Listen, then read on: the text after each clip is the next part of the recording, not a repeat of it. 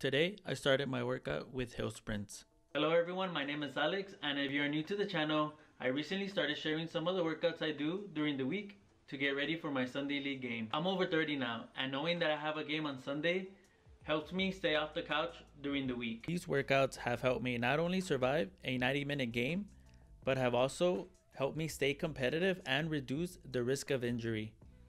Sí me canso, pero no tanto como antes. So for today's workout, I started with hill sprints. Running uphill is not fun. Whenever I think of running uphill, automatically I default into fuck, que hueva.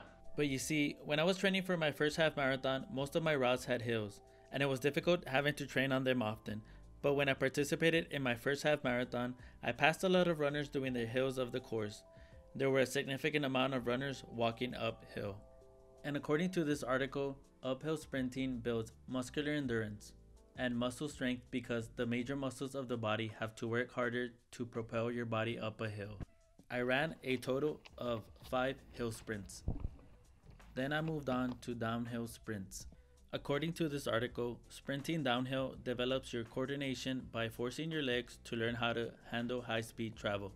At first, you'll have difficult keeping your balance, but over time, your coordination will improve in response to the increased stride rate. I also did 5 of these.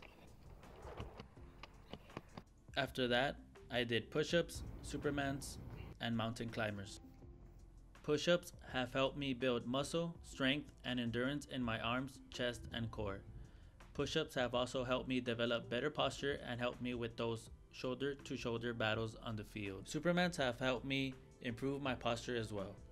This movement targets the muscle in the mid and lower back as well as the glutes. When I first started playing again, I would, I would end up extremely sore from my back and had lower back pain. This exercise has been a game changer.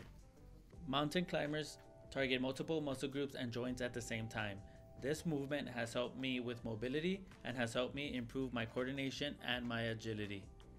That is the end of today's workout. But before we go, let me know in the comments if you train during the week to get ready for your game on Sunday or do you just show up and play?